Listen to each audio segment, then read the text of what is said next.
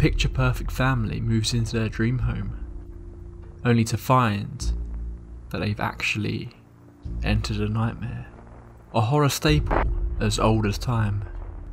Recently, Netflix released a new series from the man behind American Horror Story, Ryan Murphy, based on the real life case of the Broaddus family, their new home at 657 Boulevard, Westfield, New Jersey, and someone who claimed to be the protector of their new home.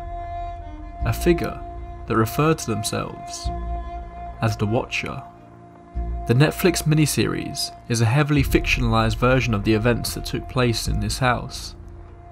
But as is often the case, the real story is just as terrifying. It's worth thanking Netflix and Ryan Murphy. Some of us have been watching this case for a long time now, and it's so nice that they have brought us a whole bunch of young blood to join the investigation.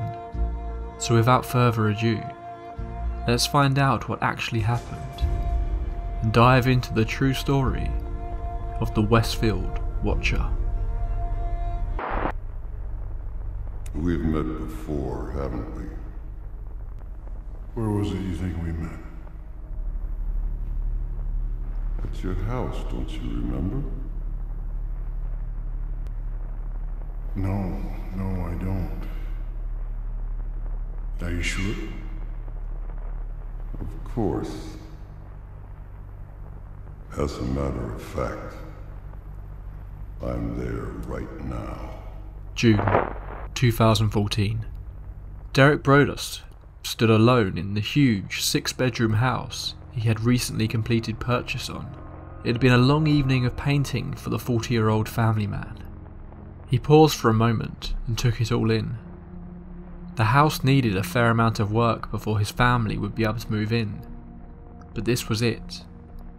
This was their forever home. It's something of a cliche, but this really was the Broaddus' family's dream home. Maria, Derek's wife, had grown up in Westfield, her childhood home being just a few blocks away from 657 Boulevard. Derek, born in Maine, had grown up in a working class family, but worked his way up the ladder at a New York based insurance company, and he was now making enough that the family could begin living a more lavish lifestyle. Despite the work that was needed, 657 Boulevard was certainly lavish, costing the family around $1.3 million. But after three different homes in recent years, this was a place Derek could see them staying as they raised their three children. It was a beautiful neighbourhood and rated as one of the safest in America. In his visits to the property, Derek got the feeling of a tight knit community, a sense that everyone looked out for one another. This was a nice neighbourhood, and it was in everyone's interest to keep it that way. What better place to raise a young family? Derek decided to take a step outside, to breathe in the fresh evening air, and get away from the paint fumes for a bit. He strolled down the garden path, out front to the mailbox. He found a few bills already, not what you want to see when you've invested so much of your money into a property, but a fact of life, unfortunately. More intriguing, though, was a white envelope. On the front, in a thick handwritten font, it simply said, The new owner. Derek opened the envelope and began reading the handwritten letter that at first appeared to be some sort of welcoming from his new neighbours. The first letter read as follows Dearest new neighbour at 657 Boulevard, allow me to welcome you to the neighbourhood. How did you end up? Did 657 Boulevard call to you with its force within? 657 Boulevard has been the subject of my family for decades now, and as it approaches its 110th birthday, I have been put in charge of watching and waiting for its second coming. My grandfather watched a house in the 1920s, and my father watched in the 1960s. It is now my time. Do you know the history of the house? Do you know what lies within the walls of 657 Boulevard? Why are you here? I will find out. I see already that you have flooded 657 Boulevard with contractors so that you can destroy the house as it was supposed to be. Tisk, tisk, tisk. Bad move. You don't want to make 657 Boulevard unhappy. You have children. I have seen them. So far, I think there are three that I have counted. Are there more on the way? Do you need to fill the house with the young blood I requested? Better for me. Was your old house too small for the growing family? Or was it greed to bring me your children? Once I know their names, I will call to them and draw them to me. Who am I? There are hundreds and hundreds of cars that drive by 657 Boulevard each day. Maybe I am in one. Look at all the windows you can see from 657 Boulevard. Maybe I'm in one. Look out any of the many windows in 657 Boulevard at all the people who stroll by each day. Maybe I am one. Welcome, my friends, welcome. Let the party begin. The letter was signed The Watcher.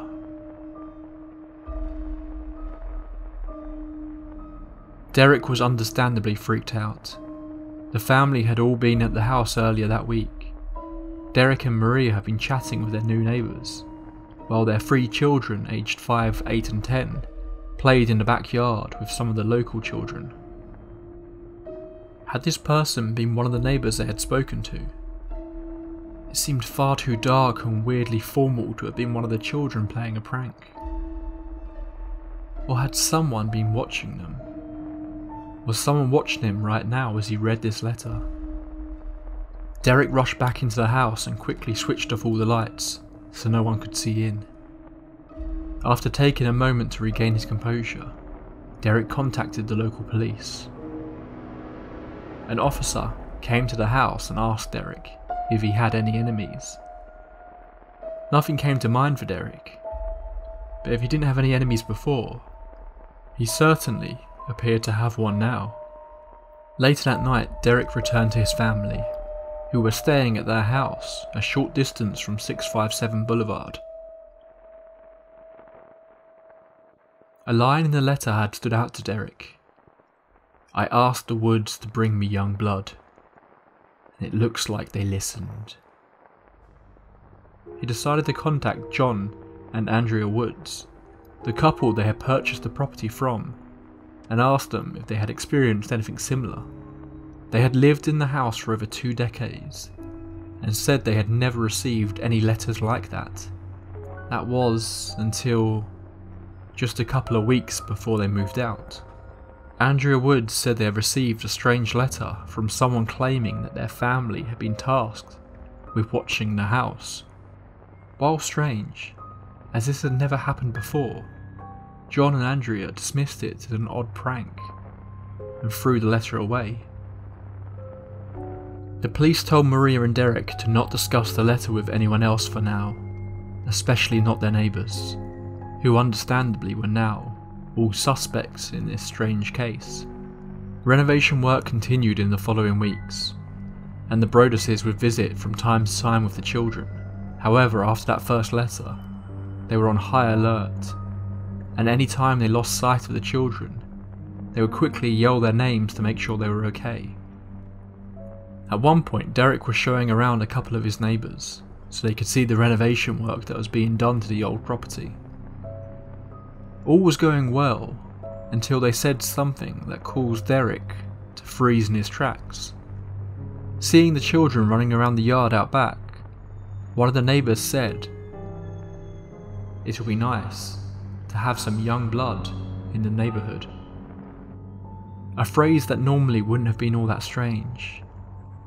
But in the current situation, it shook Derek to his core. He was becoming paranoid. His house filled with contractors. Neighbours curious about who the new members of their community were. Anyone could be the Watcher. How'd you get inside my house? You invited me. It is not my custom to go where I'm not wanted. Who are you?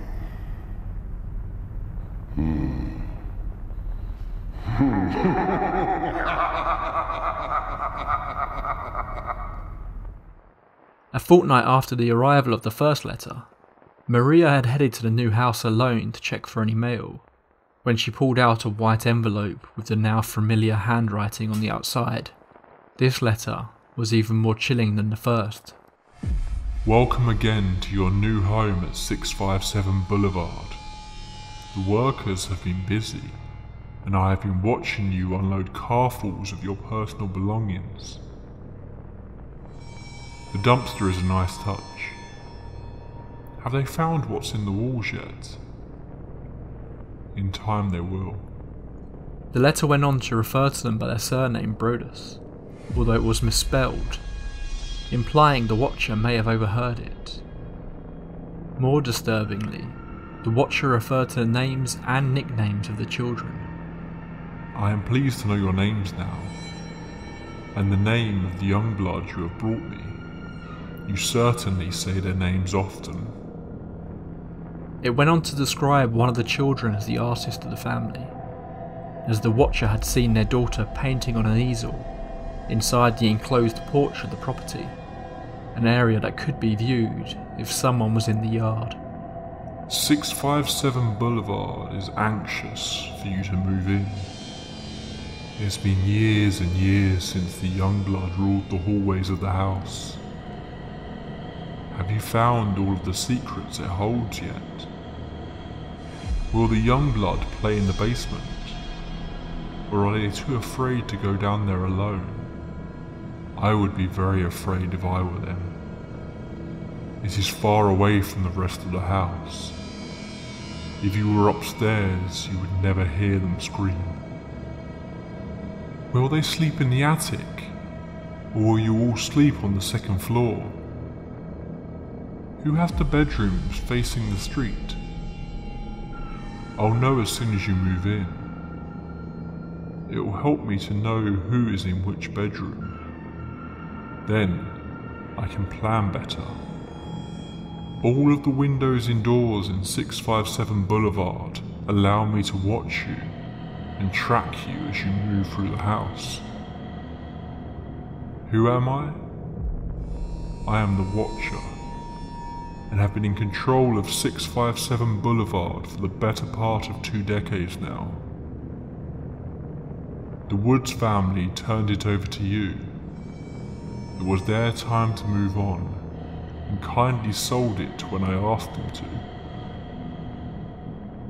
I pass by many times a day. 657 Boulevard is my job, my life, my obsession.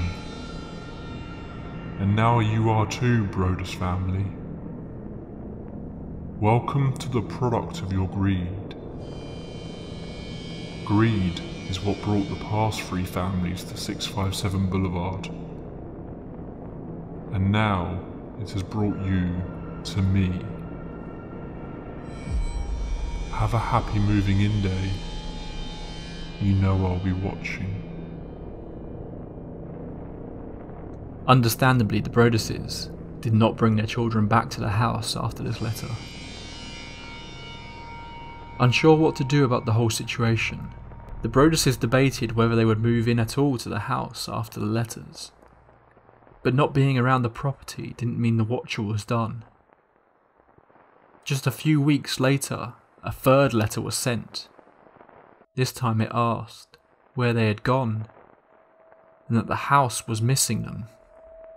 The house is crying from all the pain it's going through. You have changed it and made it so fancy. You are stealing its history. It cries for the past, and what used to be in the time when I roamed its halls. The 1960s were a good time for 657 Boulevard. When I ran from room to room, imagining the life of the rich occupants there. The house was full of life and young blood. Then it got old, and so did my father. But he kept watching until the day he died. And now I watch and wait for the day when the young blood will be mine again. 657 Boulevard is turning on me. It is coming after me. I don't understand why. What spell did you cast on it? It used to be my friend and now it is my enemy. I am in charge of 657 Boulevard. It is not in charge of me. I will fend off its bad things and wait for it to become good again. It will not punish me. I will rise again. I will be patient and wait for this to pass, and for you to bring the young blood back to me. 657 Boulevard needs young blood. It needs you. Come back. Let the young blood play again like I once did. Let the young blood sleep in 657 Boulevard. Stop changing it and let it alone. Interestingly, the comments about the house turning on the Watcher came after, in an act of desperation, Derek had invited a priest to come and bless the house. The main suspects in his case soon became the Broaddus' new next door neighbours, the Langfords, a strange family who had lived in the neighbourhood since the 1960s. Penny Langford was a 90 year old woman who lived in the house with several of her adult children, some of whom were in their 60s. Their property also would have had a decent view of the enclosed porch of 657, where the Broaddus' daughter was painting. Both the police and Derek and Maria began to suspect one of the younger members of the family, Michael. When he was brought in for questioning, he apparently said a number of things that seemed to coincide with the narrative of the letters. However, there was a lack of any real evidence that he was behind the threats. The case against Michael grew even more strenuous when DNA evidence taken from the envelopes revealed they had been licked by a woman. Derek felt the police weren't taking the situation seriously enough, and still convinced the Langfords were behind it, started his own investigation. He created documents detailing how close someone would need to be to the house to hear their conversations, installed cameras all around the house, and spent many nights waiting in the dark in the hope of catching someone spying on the property. He employed private detectives and even reached out to the former FBI agent who had inspired the character Clarice Starling. But it was all to no avail.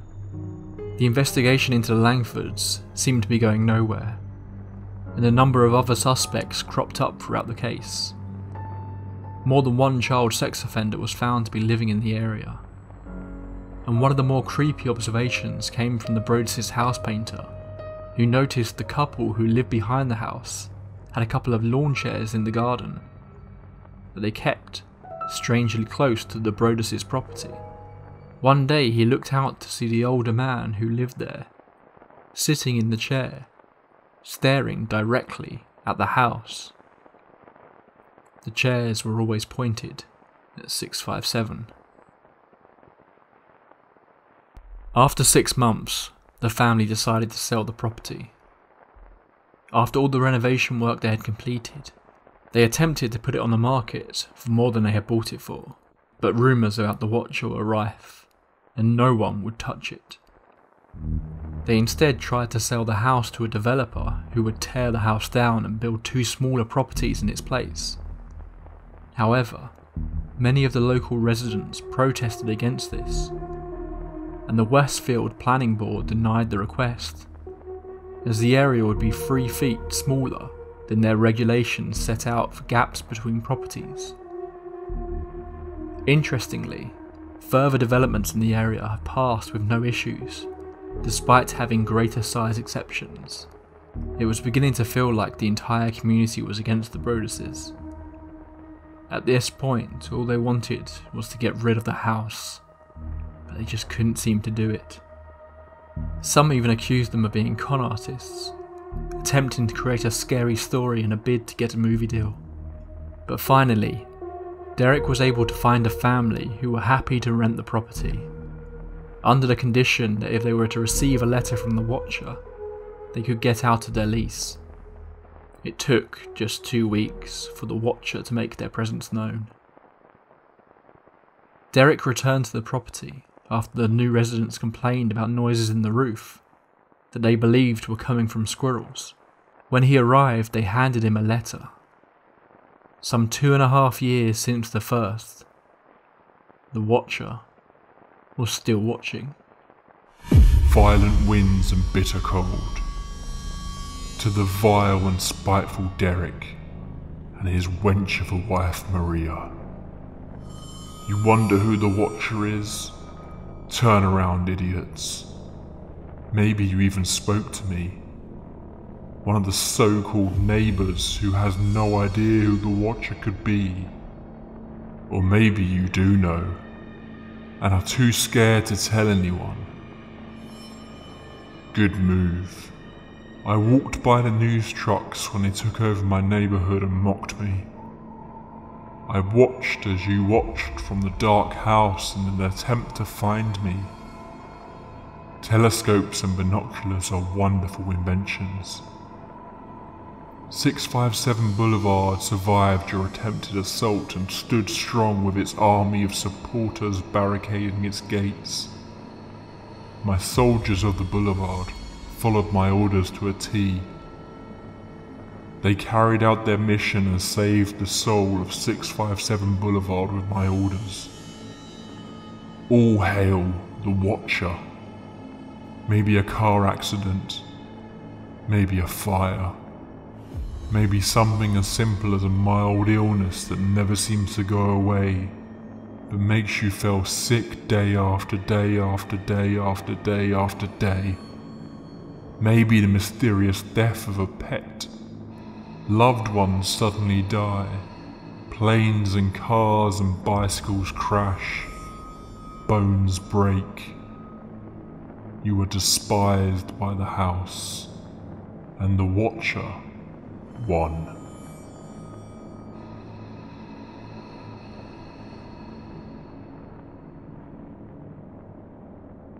Five years after the whole ordeal began, Derek was finally able to sell 657 Boulevard to a new owner, who paid just $959,000 for the property, leaving the family with a loss of a little under half a million. However, the recent selling of the rights to their story to Netflix appears to have made the Broadduses a pretty penny. While it might not make up for years of paranoia and fear they went through, it certainly feels like a decent consolation, and hopefully gives them the opportunity to restart their life free from this whole ordeal.